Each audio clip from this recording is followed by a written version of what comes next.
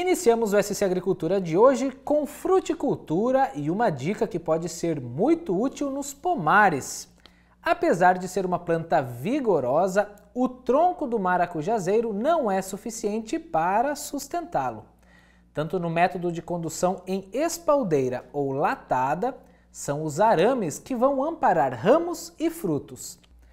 Para garantir sustentação e o bom desenvolvimento da planta, esses arames devem estar esticados.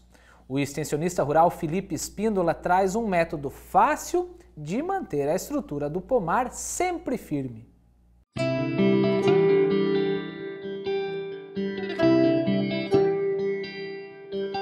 Meu nome é Felipe Espíndola, sou extensionista da Epagre no município de Pedras Grandes e no Dica Epagre de hoje vim trazer para vocês uma tecnologia que já vem sendo utilizada há muito tempo aqui na nossa região.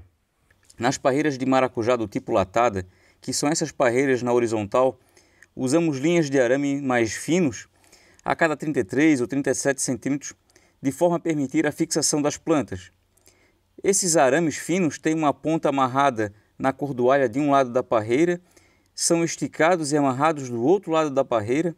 O problema é que, por mais bem esticado que fiquem, o verão chega, a temperatura aumenta, o arame dilata as plantas ficam pesadas e tudo fica frouxo novamente.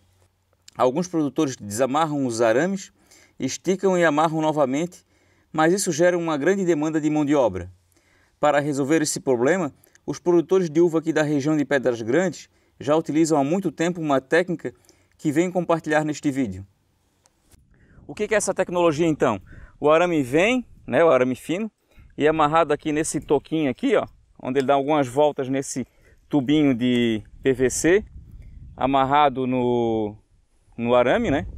A gente simplesmente pega aqui, tira essa travinha, eu posso então dar mais uma ou mais voltas conforme necessário e novamente eu boto aqui essa, esse aramezinho aqui, travando o meu sistema, mantendo então o arame travado bem mais rígido, né? Eu posso dar mais de uma volta aqui e na verdade vou dando voltas conforme a tensão que eu quero dar no arame, é, deixando a barreira sempre bem esticada.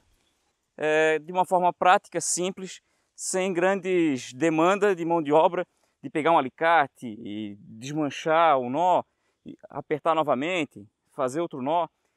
Então essa é uma maneira muito simples e prática de fazer essa, esse aperto dos arames, que com o tempo eles vão afrouxando, né? o maracujá vai crescendo vai pressionando aqui a parreira e o arame vai acabar cedendo, esticando e até mesmo conforme a época do ano, pode ser que ele estique um pouco mais, que é o caso aí do, do verão, ele vai dilatar e vai dar uma afrouxada, então é facilmente ele consegue aqui apertar os arames novamente com essa tecnologia simples, barata de fazer.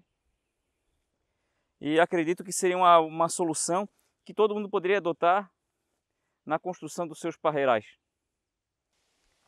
Uma maneira interessante de se colocar isso daqui numa parreira que já foi montada é talvez fazer aqui um furinho, um rasgo no cano de PVC de forma a poder permitir que passe pela cordoalha novamente.